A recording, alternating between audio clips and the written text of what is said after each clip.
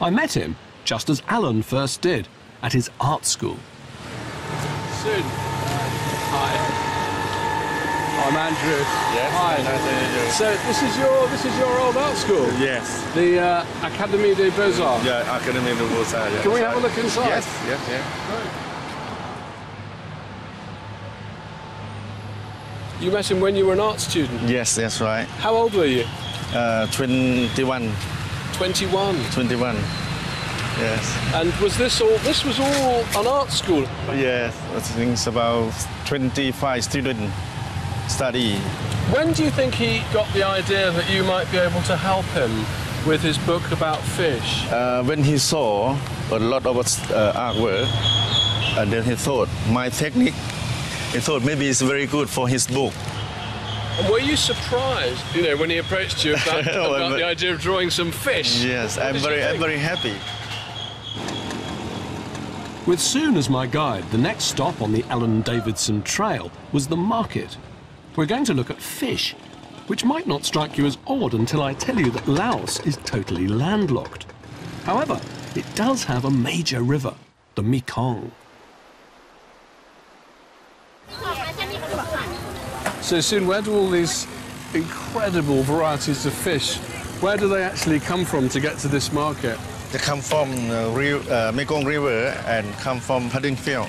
So they all just come from the Mekong and the paddy field. Wow, that's a lot of fish from Yeah, one the river. rest, one river, yeah.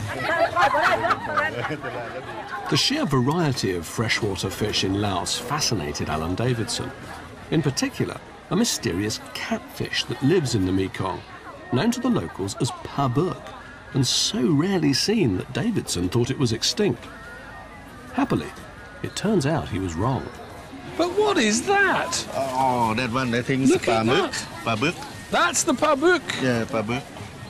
Isn't Yes. it very, very ve- rare ve- very to find rare. this? Yeah, very rare. I thought this fish was nearly extinct. And is that the head? Because the young girl in there, she said uh, she can't find the pabuk. She can't see pabuk 30 years. That's the first time she see it. She's 30 years old and she's only ever seen pabuk once. Yeah, that's, that's why the first So, time. sorry, it seems to me that we're That's very, like we're, very ve- we're, we're very lucky. Yeah, that's why you're lucky. Needless to say, Alan found a way to include his favourite fish in the Oxford Companion.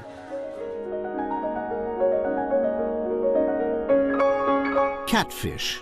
The largest, by weight, is the best. Indeed, one of the finest fish in the world for eating. This is the giant catfish of the Mekong, which may weigh over 300 kilos and measure 3 meters in length. Its eggs, referred to as Laotian caviar, are eaten on rice cakes.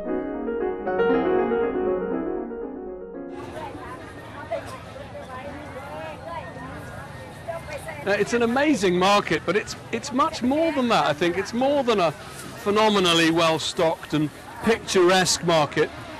And I think to understand what makes it so special, you have to actually leave it, walk to the edge of it, and you'll see what I mean if you follow me um, through the valley of frogs and crickets.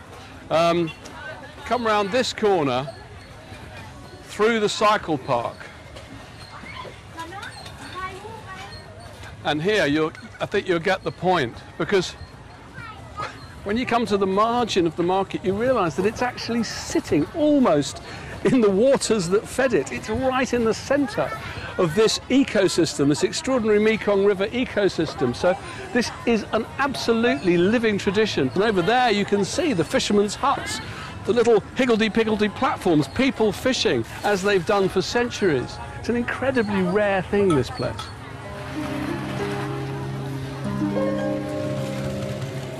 The book that Alan Davidson wrote while he was living here, The Fish and Fish Dishes of Laos, isn't so much a collection of recipes as a record of traditions, techniques, and knowledge he clearly felt to be so precious they needed to be recorded for posterity. Which is this one. Have you got um, So I think he'd be pleased to know that 30 years later, you can still use his essential gastronomic guide to the region to order all of his favourite fish. barbecue? That's the panin. Gop chai. Thank you very much. I think Alan Davidson wrote his book with a particular conservationist agenda that doesn't preach about what you should or shouldn't eat. For him, the preservation of nature and the preparation of food are two tributaries of the same ecosystem. Hmm. It's so good. It's such a good flavour, it's so pure. In fact, for me, the whole experience of eating here in Laos, it's all about purity. I mean, if you're talking about food culture, it's impossible to imagine anything further removed from the British example than this. You know, none of this food will have been sourced from a supermarket. It all came out of that river. The people who live here, the people who work in these restaurants, they shop in the market. There are no supermarkets for food here. So this is this is stuff that has come out of that water. It's been cooked on that fire. It's been prepared in the way that was laid down by her mother, her grandmother, her great grandmother.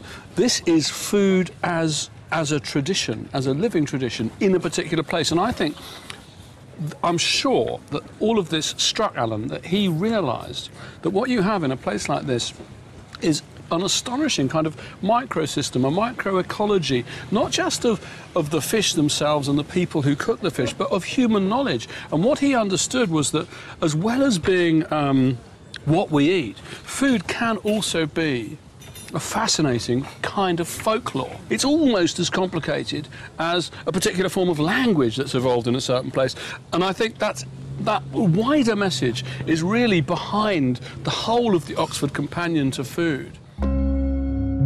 But the appeal of Laos to Alan was as much sensual as intellectual. He was, as the old colonialists used to say, going native. And you can see that clearly in how he began to dress. He took to wearing brightly coloured silk shirts made in the local style by the tailors who work and trade in this street. And since I'd pitched my tent so firmly in the Alan Davidson camp, I felt I just had to buy one too. So what I'd like is this fabric, this one. Yeah. I, I should- No, I can explain to you. No, no, it's okay. Look, look, if you come with me. No, really, really, you will. Un- I have ways of making you understand. this shirt, Puma, yeah, but with long sleeve from this material um, for me.